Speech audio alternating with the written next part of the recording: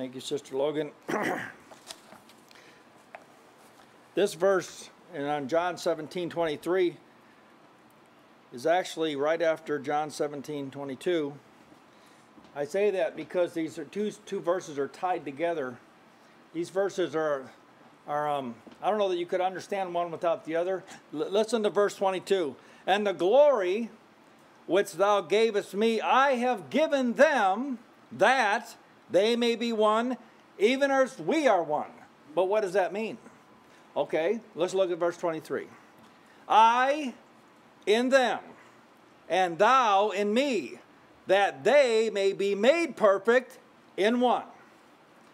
See, this is the result of the glory which Christ has given unto his people. In other words, this couldn't happen unless Christ had given us the glory that the Father had given him. Remember, he said, I'll not give my glory to another. So at some point in time, if you're going to be received by God, you have to come out of the category of another and you have to be one with Him. Now, if that doesn't happen, it really doesn't make any difference what anybody says. You're not going to stay long with God. You're not even going to want to. The glory, see, this is, this is essential. Now, in the verse that we're going to examine tonight, verse 17, 23, John 17, 23, I'm going to major mostly on I in them. Now, this is what we have to do with mostly right now. Christ in you, the hope of glory. If this, does, if this single thing is not accomplished, then the, the verse is abruptly halted right here. Progress is abruptly halted if Christ isn't in you. Amen. You can't come any closer to God than you can come in Christ. No closer at all. Notice how specific Jesus is in describing our connection to God. I in them, and thou in me. Notice how precise that is. Notice he doesn't say, I in them and they in you. Doesn't say that. Jesus doesn't say that anywhere. I in them and thou in me. Now, see, this salvation's custom tailored for God, and it's custom tailored for men. It's custom tailored for God to be able to possess and at the same time not destroy. I in them, and thou in me. God's very specific concerning who he dwells in. He's very specific because he's holy. He's holy, holy, holy. Now, the, something, a, a personality like this cannot dwell in the courts of sin. He can't. If he, if he moved in, it would consume the whole place. He's holy. Habakkuk knew this. Habakkuk, is what he said. Habakkuk 1.13, Thou art of pure eyes to behold iniquity, and canst not look at iniquity. He can't. If he does it, he's going to judge it. It's what's going to happen. So what does God do? God in his wisdom, he's in his brilliance, he devises a way that is banished, be not expelled from him. How does he do this? I in them and thou in me. See, it's indirect now. We're working towards, towards the end of the verse, we see we're working towards a time when they're going to be perfect and entire and wanting nothing. They're going to be in the image of Christ, in the image that God can love, just like He loved Christ. Why? Because Christ has done a work, such a splendid work that they really, really are in the image of Christ. So God isn't excusing anything. God isn't excusing anything in the end and saying, well, I promised I'd love them, so I guess I better get to that. No, Christ is really transforming them into the same image to where when God looks at them, He loves them. He loves them as He loves His Son. Now, now this is quite a work. This is Jesus' work. I in them. This is Jesus' work. Notice how Habakkuk isn't asking God to shut his eyes. Towards the end of this verse um, in Habakkuk, Habakkuk actually is asking God to do something about the situation. Wherefore, now he knows that your, your eyes are so pure that when you look at something, you judge it. So what's he saying? Look at this situation, Lord. This is our God now. This is a prophet now. This is what he's asking for. Wherefore lookest thou upon them that deal treacherously, and holdest thy tongue when the wicked devour the man that is more righteous than he? Habakkuk is asking, move in and do some judging when you come in. Come in and look at look at the way that look, look at the circumstances. Look at it because as soon as you see it, you'll judge it. David said, "Break their teeth off." Do it. Why? Because he knows God's holy. So he, knows that if you can just get God in, in the picture, if he can just move and see what's going on, he'll do something about it. Of course, that may not be good for the, those who aren't in Christ, right? So see, in salvation, God's, God's showing us mercy. He's being merciful. Remember they said, should we call down fire from heaven? Shall we do that? He said, you don't even know what came. This is all about mercy right now. We're living in a time uh, of a merciful. He, salvation's made God be able to be merciful to men, long suffering, patient. So this is, you know, this is what we, we're inclined to pray good for people. Do them good, Lord. Change them. Let Christ be in them. Because if Christ is in them, now, see, they'll start being transformed into an image that God won't curse. Because God won't curse Jesus. Not again. He did it once. He, when he laid sin on him, he cursed him then. Not anymore. He's put away sin. Jesus is revealing something in this verse that'll cause great rejoicing when you see it right. Great rejoicing. I in them.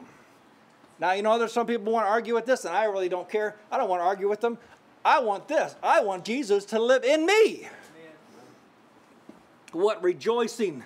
This will bubble up in your hearts. Big effervescence of joy will just burst through when you realize that Christ is in me. He's doing something. He's changing me. I'm not what I used to be. And I'm on my way to being what He wants me to be. I in them. Heaven doesn't have a problem with seeing God for who He really is. And you start reading about heaven, I tell you, you, get, you want to talk about getting excited. You start getting excited. You start picking out the scriptures and reading about the holy seraphim, what they do, and how they see God, how they perceive Him. I tell you, you just want to be transported right there. It's like you're right there looking, looking on. Isaiah was given to see the way heaven considers God in Isaiah 6 1 through 4. Remember this? In the year that King Uzziah died, I saw the Lord. I saw the Lord. I remember we're talking about Christ in you. I saw the Lord high and lifted up, and his train filled the temple, and above it stood the seraphim. Each one had six wings. With twain he covered his face, and with twain he covered his feet, and with twain he did fly. And one cried unto another. They talked to each other in heaven. That's what they said. Holy, holy, holy is the Lord of hosts. The whole earth is full of his glory. Well, see, we come together as saints of the Most High God. We like to talk about our God. Amen. We like to talk about. Have you noticed how holy God is? Amen. They talk to me. Tell me about how holy God, because that's the one that's inside of you. The one that's living you, transforming you, is a holy God. You would expect His people then to be holy, because they're like Him. And the post of the door was moved at the voice of him that cried. Something happened. When you start talking about God, expect things to change because they're going to change. God's, God's a mover. See, God's a creator. He doesn't leave things the same way as He finds it, He judges it. It's never the same. After Jesus moves in, it's never the same. Man, on the other hand, I see you got God on this hand. I'm talking about I in you, and thou in me. I want to paint a contrast. We've seen that God's holy. God's holy. His eyes are too pure to look on iniquity. God can't be the one to come down here and take away sin. He's going to have to send his son. He's going to, the word's going to have to become flesh. See, that's the means now. God has used these means to bring many sons to glory. Now, man, now what, what's man? How's God going to do this with man? Man is born into trouble as the sparks fly upward. Says he's shaped in iniquity. By nature, man is dead in trespasses and sins. We know that men walk according to the course of this world. We all had our time. We did our tenure in the flesh. Men walk according to the prince of the power of the air. They have a spirit that's now working in them, and it's causing them to be disobedient. To who? To God, to this holy God. How's God, how Jesus going to move into this? We know that men, primarily independent from Christ, they walk according to their own fleshly desires. This is what motivates men themselves. They've made their self to be God. Men are by nature the children of wrath, which means that God is against them. If this doesn't change, they're going to be cast away from his presence. If man's ever going to be able to know and understand God, then a substantial change must occur in the very nature of man. Because the nature of man is corrupt according to the deceitful lust. They can't do anything else but sin. They're the servants of sin. So, they need a Savior. They need a deliverer. Some that will come and take them out of the pit, rescue them, and set their feet on a solid rock. See, now how's God going to do this? Well, you know, we, we've come to know that He's done it through the person of Christ Jesus. He's accomplished something that man couldn't do and that God wanted to do. It says God doesn't, He's not like being, if He's going to bring many sons to glory, He has to do this for them because they can't do anything for themselves like this. Now we know from the scriptures that God has set Jesus as a forerunner the propitiation, the rock, the way, the truth, and the life. God has set Jesus up as the only man through which he can receive men. Now, why, pray tell me, would you want to talk about anybody else when you're talking about a man? This is the man, Christ Jesus. This is the one that God has set up. Remember, he talked about the serpent being lifted up in the wilderness? And if you looked on him, you gazed at him, see, you would be healed. Well, let's lift up Christ. Why would we want to lift up Christ? He's the one, he's the propitiation. I in them.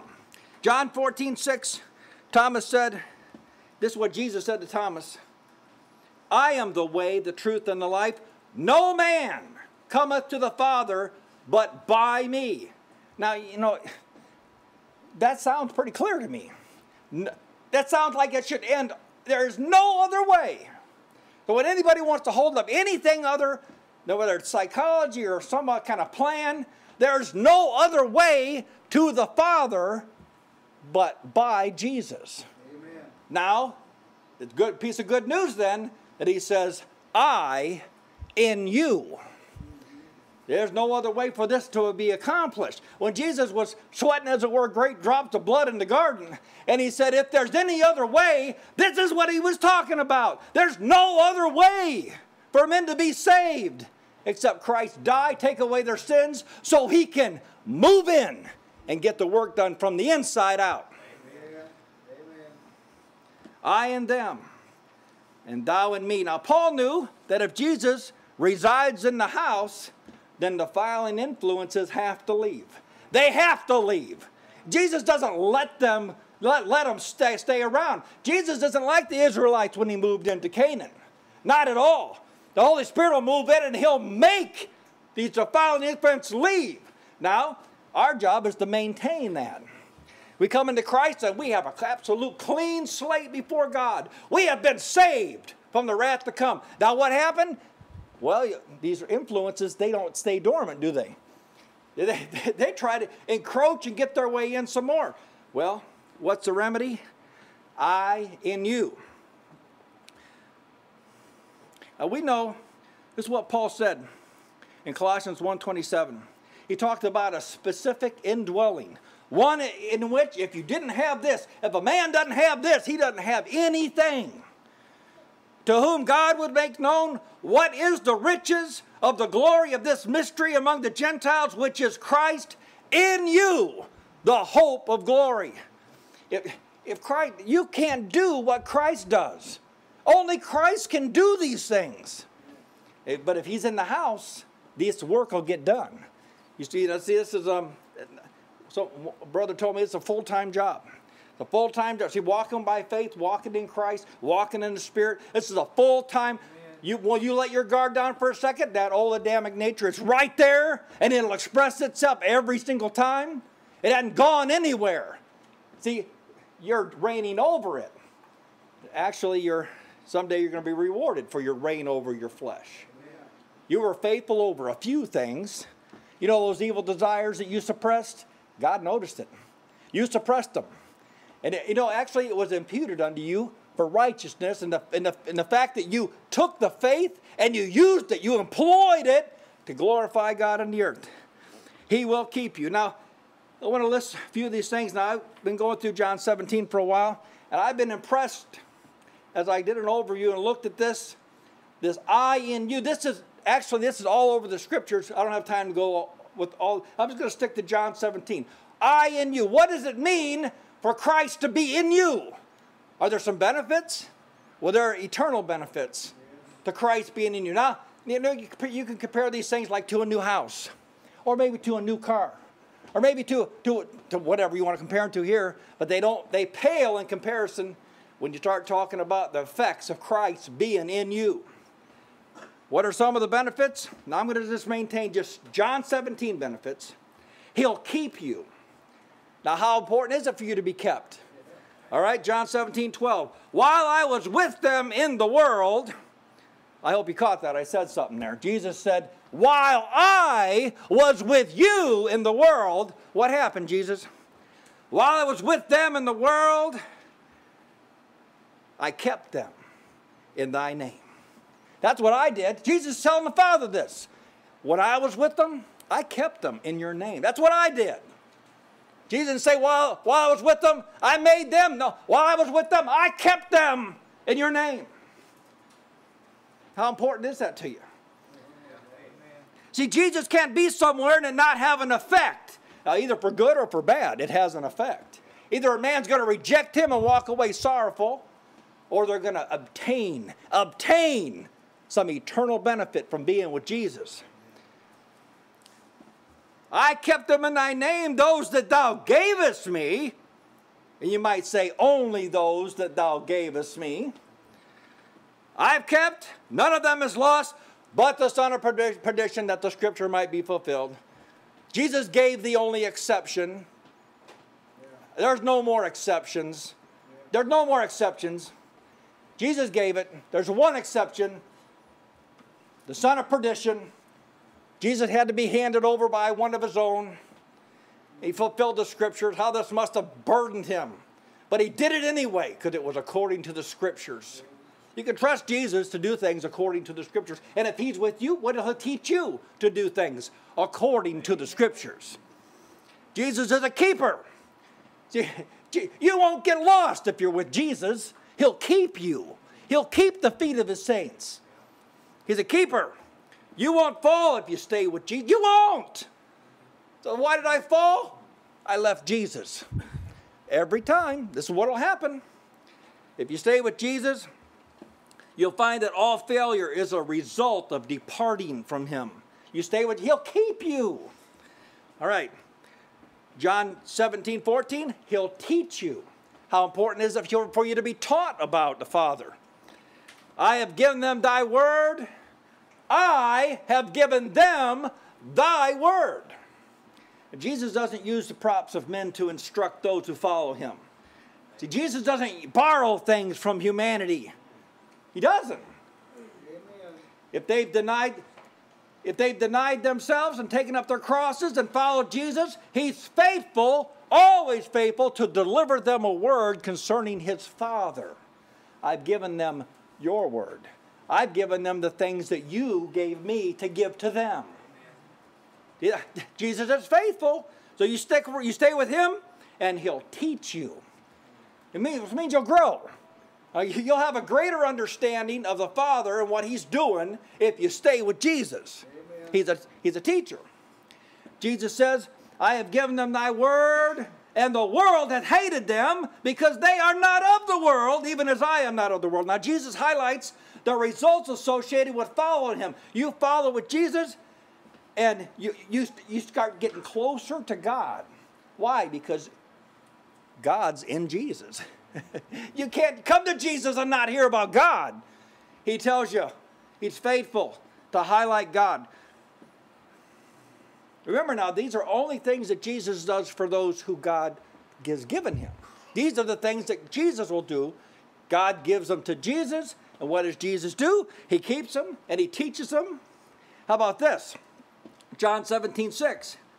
He will manifest or make God to be known unto you. John 17, 6. I have manifested thy name unto the men which thou gavest me out of the world. That's what Jesus, God gave him to Jesus. What did Jesus do? He showed him the Father. Jesus is faithful to do this. He'll show him the Father. How, how does Jesus? I in them. See, he's doing it from the inside. In other words, it's he changes your desire. You have a desire to learn of the Father. And then, of course, Jesus is quick to manifest his name, make it known. Now, you can all testify, if you've been walking with Jesus any time at all, that you know more about God today than you did when you first started walking with Jesus. What happened? Jesus manifested his name to you.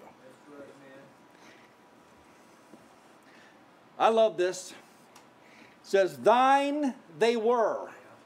The whole world belongs to God. The whole world. Every single man or woman or child ever lived belongs to God. And he gave some to Jesus. That's what it says. Thine they were, and thou gavest them to me, and they have kept thy word. I manifested your name to them, and they got a hold of it. They wouldn't let it go, they kept it. How important is it for you to keep God's word?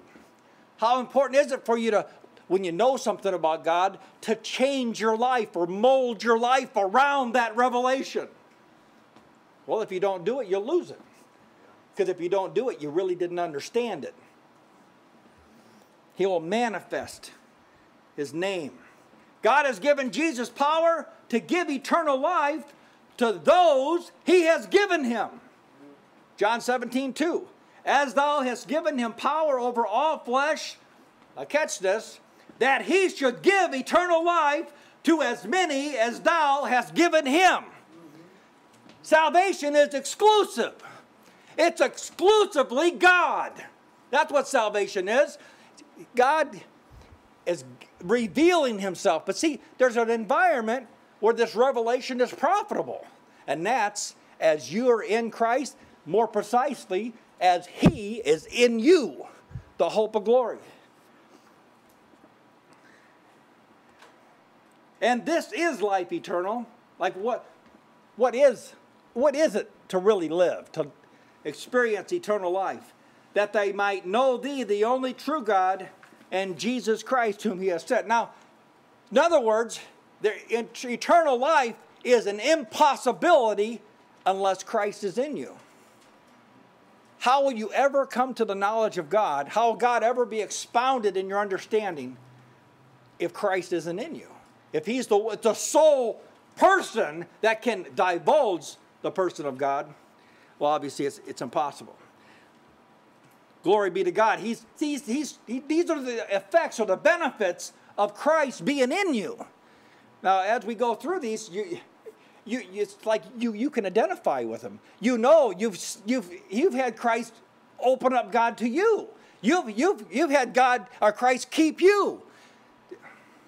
This is this is part of um, being in Christ and Christ being in you. Another thing, he'll give you glory. John 17, 22. And the glory which thou gavest me, I have given them that they may be one, even as we are one. And the confirmation of that work, the confirmation that you, see, she said, well, how do I know that God's given me, Christ has given me glory? How do I know that? This confirmation in John the, in John's account, Revelation 21 9, now this, this glory, this obviously this glory, it's, it's not seen in the, in, it's, it's not physical like this, like this. This glory is going to be seen in its fullness in another time, in another place. And there came unto me one of the seven angels, which had seven vials full of the seven last plagues, and talked with me, saying, Cometh hither, and I will show thee the bride, the Lamb's wife. Now, I'm making this point because I want to show you if Christ is in you, ultimately, everyone's going to know that Christ was in you. The benefits or the effects of Christ being in you is going to be realized. Not only realized to you along the way, but ultimately when, when, when, when you look at the bride, the Lamb's wife, there's going to be a quality about her that is going to be very visible, very, very easily picked out and seen. That's what he said. I'll show you the bride, the Lamb's wife. This is your ultimate end if you stay with Jesus now. You stay with Jesus, this glory that was promised, look at what it is. And he carried me away in the spirit to a great and high mountain and showed me that great city, the holy Jerusalem, descending out of heaven from God, having the glory of God. What happened? How did this? This one started out as a lost sinner. The way that God found him. He gave them to Jesus. Jesus expounded God. Jesus worked in them, transformed them, and now they have the glory of God. This is Jesus' work. This is Jesus. God's going to look at the church and say, Well done to his son. Well done. I sent you on this mission, son. Well done. And in fact, it's so well done, I'm going to move right in. I'm going to be pleased to dwell in her. Why? Because Jesus did a work that's absolutely perfect. Amen. How'd they get that glory? Jesus did it. Jesus did it. They, we'll cast our crowns at his feet in acknowledgement. Well done. You, it was you. You brought us here. You gave us this glory. And it did exactly what God wanted it to do. He said, The glory which thou hast given me, I have given them, that they may be one in us. Now, this, is God. Look at a great salvation he's worked out in the person of Christ. John 17, 22 again, I want to accentuate that they may be one. I'm commenting I've just commented on a few of these uh, attributes just in John 17 about the things that Christ, that you can be benefited by Christ being in you. And it's, it's most remarkable. These, there are so many of these listed in Scripture, if you start looking for them, that all the benefits that Christ bring to the person, in fact, every benefit, every benefit, eternal benefit, is linked to Christ being in you. Well, now what do you do with the church of Christ isn't in? Well, really, it's not really a church at all. See, it's, it's a, this is just a fallacy. You know, this is Babylon. You know, well, here's just one more to whet your appetite. Just one more. That he'll bring you where he is. Now, you know, while you're here, and you're here walking this earth, and you're walking by faith, you're walking in the Spirit, you're not fulfilling the lust of the flesh, you're doing, Christ is in you. You're on your way to glory. But the fact is, you're not there yet. You're on your way. So while you're on your way, you need these kinds, you need these truths to help spur you along, to draw you. See, God can do this. And just the knowledge that Jesus prayed that you would be where He is, this gives you great confidence. God's not going to leave us here. He's not going to leave us like orphans. He's not. John 17, 24. Father, remember now, this is Jesus making a request of his Father. This is the one that always pleased his Father. Remember? Well, we wouldn't say that Jesus didn't have faith, right? Jesus, he, Jesus had ultimate faith. Now look at this. Jesus is making a request, a desire, and he's asking his Father, fulfill this for me, Father. Father, I will. Have you ever wondered what Jesus' will is for your life? Here it is. This is it. Father, I will that they also, whom thou hast given me, be with me where I am, that they may behold my glory which thou hast given me. For thou lovest me before the foundation of the world. Father, I'm asking for this single thing that your eternal purpose would be accomplished. You see, Jesus didn't at the last minute decide to do the Father's will. Jesus came with this intense desire to do the Father's will. And right here, what he's asking is exactly what God's doing.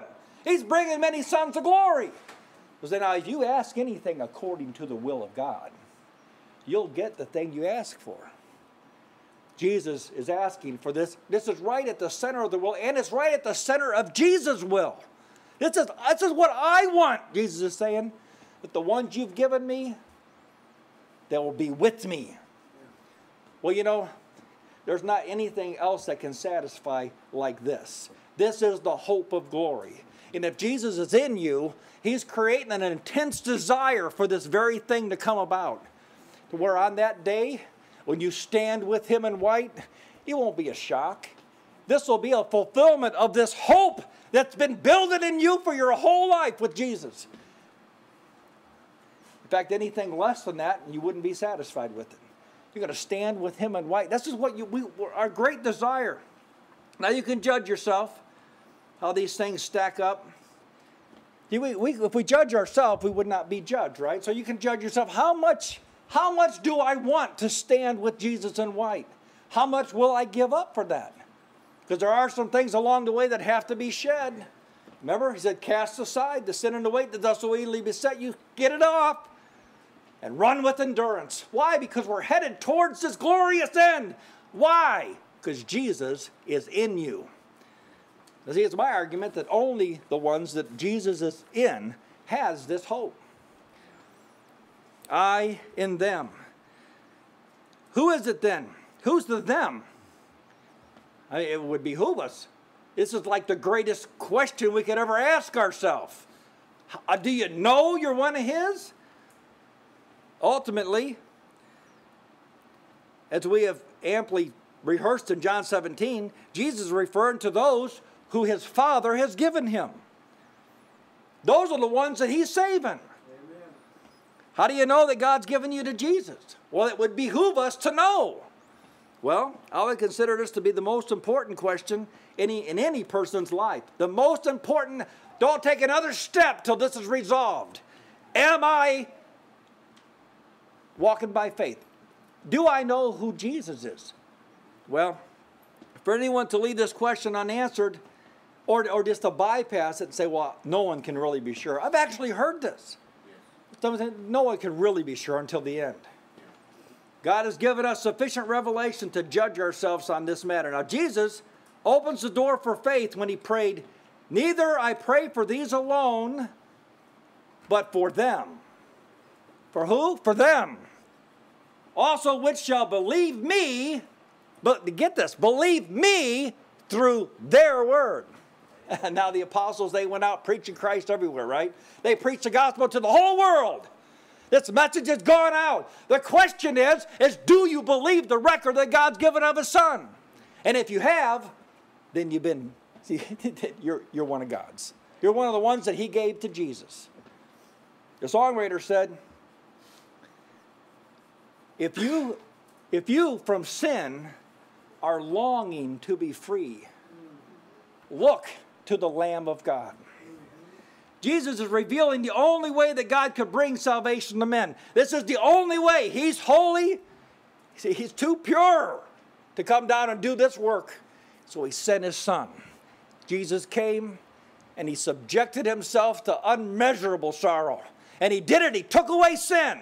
And now he's seated at God's right hand and he's expediting the kingdom. He's bringing many sons to glory. And he's doing it in one way I in them and thou in me.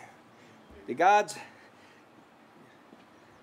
couldn't think of a better way to say this, but I'll just say it and maybe I'll come up with something better. God's like Jesus is God, God's, God's buffer. See, he, God is too holy to come down and dwell in you in the fullness now. But Jesus said, I will not leave you comfortless. I will come to you. Now he says that they'll come and he'll make his abode in us. How exactly does God make his abode in you? I'm, I'm saying that Jesus is saying, I in you and thou in me. That God is dwelling in you through the person of Jesus, who is dwelling in you through the person of the Holy Spirit. See, this it, it's a perfect plan. In other words, it's a plan that works. It's a plan that will actually bring you from the pit of sin to the courts of heaven. This is God. And look at the salvation that He's wrought. Jesus is revealing the only way The only way that God could bring salvation to man. Jesus would later pray in the garden, If thou be willing, remove this cup from me. Nevertheless, not my will, but thy will. Now, this same kind of this same kind of desire, this same kind of, of, of, of determination, Jesus works in every one of the sons that God give him. God gives him a person, and you'll find yourself, you walk with Christ, you'll find yourself saying, Not my will, but thy will be done. What happened? See, this is Jesus in you, and he's transformed. Your desires are different. Jesus submitted to what was, in his own estimation, the most horrific event that any man could possibly endure. He was going to be separated from his Father. Now, how, how hard is that for someone who's never been separated from his Father? But Jesus submitted to it, he endured it. Now, for a moment, for a short time, you are separated from him. Now you have him in the spirit, you have him, but see, you are still separated from him. You have to walk by faith, not by sight. But, brother, there's coming a time when this is going to all go away. Amen. And you're going to see him face to face. Jesus is getting you ready for that moment right now. Christ in you, the hope of glory. Now, see, if that Christ isn't in you, there is no hope of it being glorious when you see God. What could possibly persuade Jesus to submit to such an arduous task as laying down his life? He's the Prince of Life. He wanted to please God. It's what he said. We don't have to gamble at the answer. Jesus said, Not my will, but thy will. I'll lay down my life, Father. I'll do it. And he did it. Now he's asking us Christ is in you. What's one of the effects? You'll lay down your life. Now I'm, I have to submit this that if you're not laying down your life, Christ isn't in you. Jesus said, unless you take up your cross, deny yourself, and take up your cross and follow after me, you can't be my disciple. Now, see, that's, that's not just at the front door, that's all the way to glory. See, you're giving Jesus the front seat. Why? Because he's the one that's, that's bringing you to glory. Well, as I was thinking about this, it's not by coincidence coincidence that Adam fell in a garden. And it's also not by coincidence that Jesus overcame in a garden. See, the very thing that Adam just couldn't seem to do is say, No, I'm not going to do what I want to do. I'm going to do what God. It's the very thing that Jesus overcame in, didn't he? He said, Not my will. No, I won't eat of the forbidden fruit. I won't. I'm going to submit to God. I'm going to do what he said. See, he overcame. He actually, the second Adam, actually overcame and made a new and a living way. Where now the same spirit that raised Jesus from the dead can dwell in you and can quicken your mortal body. Why? Because Christ is in you.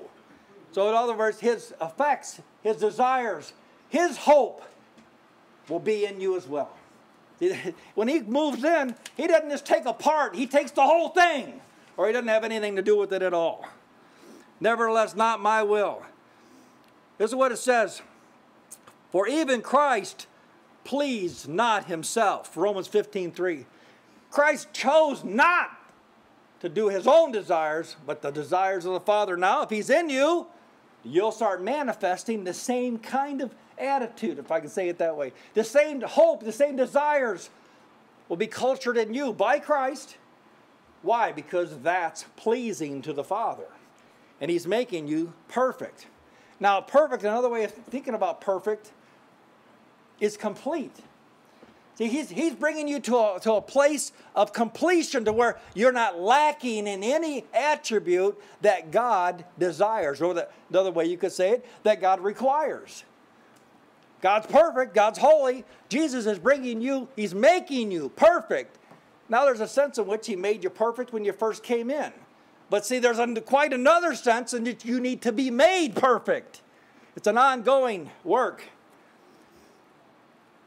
Philippians 2 6 says, Who being in the form of God thought it not robbery to be equal with God, but made himself of no reputation. Now notice the humility of Jesus. So if Jesus is in you, what do you think is going to work in you? You're going to start you're going to start finding that you actually prefer the brethren. You actually put their interests above your own and on the occasion when you you notice the conflict praise God that you notice a conflict. See there, there's something this is not right. I don't normally choose my own benefit here. Why is this happening? How could you even come to those conclusions? Because Christ is in you. See, He's changed your nature. You really do want to please God. He took upon Him the form of a servant and was made in the likeness of men. And being found in fashion as a man, He humbled Himself and became obedient unto death, even the death of the cross. Now, you know, we can't claim to have, to have come down from some great height like Jesus came down. We actually were at the lowest you could possibly be, and He brought us up. This whole thing for us has been an upward progress. We're seeing more and more of God, have greater hope, greater desire. And eternally, eternally, we're going to be greatly benefited because Christ was in us. We see that Jesus chooses to accomplish the will of his Father and now He's working in us to make those same choices. See, I say these things because we're living in an economy, spiritual economy, where it doesn't make any difference what your choices are. Is that there's a gospel that's being hawked out there that it doesn't really matter what you do. Christ did it all and he just accepts you the way you are. But the fact is, is that Jesus couldn't say this word, these words, if that were true. I and them, and thou and me, that they may be made perfect in one. Is what Jesus is doing this work. There's no other way for God to dwell in man. Now, I, I suggest that in the ages to come, Christ will be the reason that we can dwell in the presence of God. So much so that if Christ were to leave, we'd have to go with him. Now, we, this, I, don't, I couldn't find any place in Scripture where we're not directly associated or linked with Christ in any dealings with God. Amen. You take Christ out of the picture, you remove him from glory, and we have to leave the courts of heaven too. Our association is built on the foundation of the work of Christ. He's our representative. He's the one that, that is the Lamb in the midst of the throne. And He's the one that's giving us or giving, imputing to us eternal life. This is what he promised. Now Jesus promised this, Revelation 3:21, to him that overcometh, it's a word from the king now, will I grant to sit with me in my throne, even as I also overcame and am set down with my Father in his throne. You're going to be seated with Christ in his throne. Now, if he's ever dethroned, you're dethroned too. See, uh, now I'm, i know these are hypotheticals. I know that Christ isn't ever going to be dethroned. I'm trying to emphasize that your identity with God is through Christ. And because of that, see, the, the, the, God's established this in the scriptures. And, and, and in our minds, see, now, if that's the truth, then Christ, if, if, if, it, if salvation or getting us made perfect is Christ's work, He's not going to have any defective people. And see, Christ isn't going to offer up a church that's fundamentally flawed. It's not going to happen because Christ has done a perfect work. He's, he's made us perfect. He's making us. Notice that in, in, in Revelation 3.21 and John 17.23, Jesus is very careful how he expresses this truth about the person of God. He says, I in them, in John 17, Revelation, he says, Sit with me. He says, Thou and me. In John 17, he says, Am set down with my Father.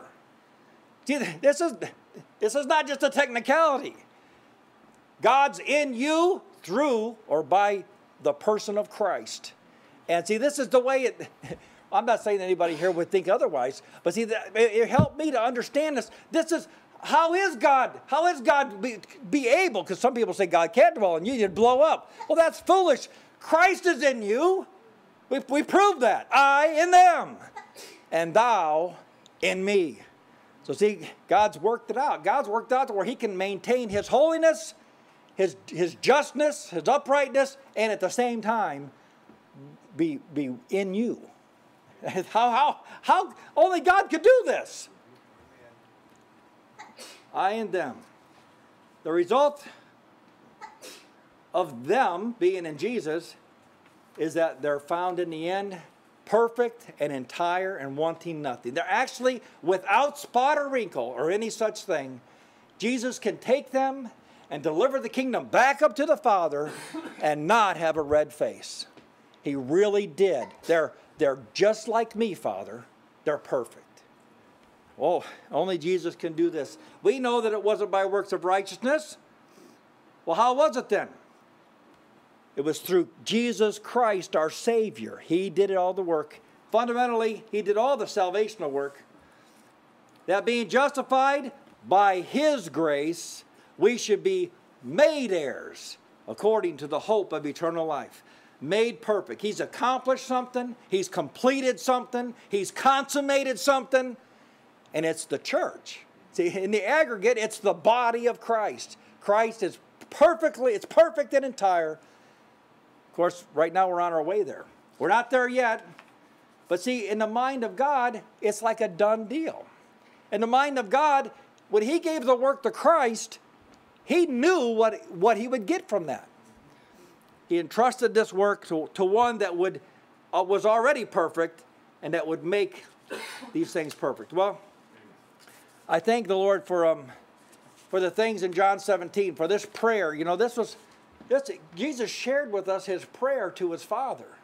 And this prayer is so rich with, with wonderful um, um, things from God. It shows Christ's desire, shows Christ's inclination, not only to do the will of Father, but, but to, to, for his people. I mean, God, he knows God. He knows, he knows what, what, what, what God loves, and he knows what God hates. And see, there's not going to be anybody on the, on the last day that is fundamentally flawed that God loves. See, this is just foolish. God loved us and He sent His Son to be the propitiation for our sins. Why did He do that?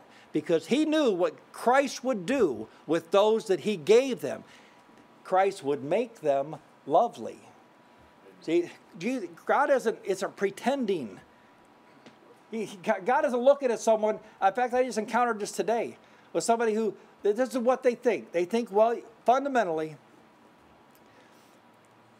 Jesus died and he took away sin, and now you, you can't help but sin. But God overlooks it because what Jesus did. Now, is that really what salvation is? See, it's not. Jesus really, Him being in you, has really changed you. And, and for me, this, this, is, this is life from the dead. When you see what Christ is, is capable of doing in a person, well, now you start asking for different things.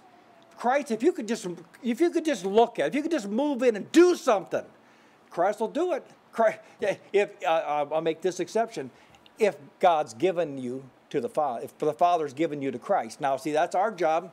I, I think that that's um falls into our purview to make your calling and election sure. To see, this is not something that's assumed, this is something that's apprehended. Anyway, I thank God for this. Thank you, brother.